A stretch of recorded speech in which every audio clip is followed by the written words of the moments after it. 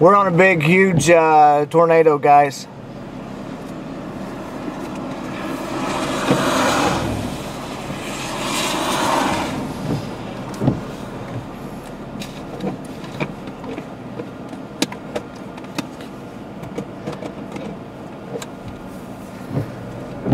Severe thunderstorm warning for northwestern Kanawha County in central West Virginia, northern Putnam County in western West Virginia, south central Jackson County in northwestern West Virginia.